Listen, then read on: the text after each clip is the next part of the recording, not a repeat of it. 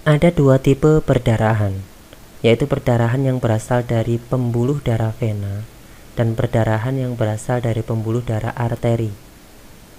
Perdarahan pada pembuluh darah vena berwarna agak gelap dan mengalir secara spontan.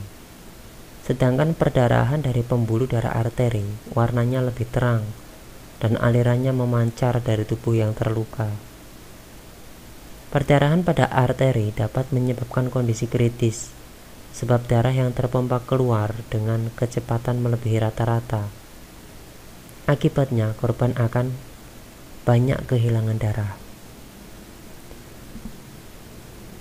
Menekan langsung pada daerah yang terluka adalah salah satu tindakan yang dapat dilakukan untuk menghentikan perdarahan, walaupun menyebabkan rasa sakit pada bagian tersebut.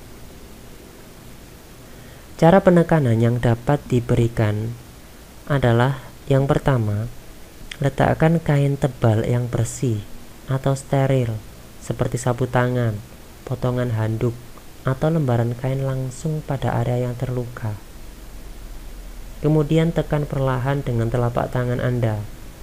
Apabila tidak ada kain, gunakan tangan atau jari untuk menekan.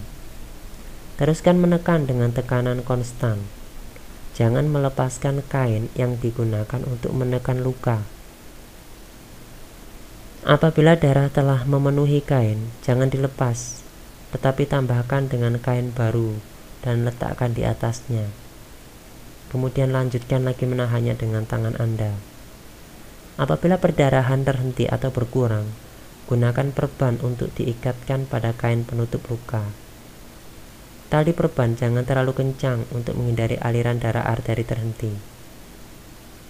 Usahakan luka pada posisi di atas organ jantung.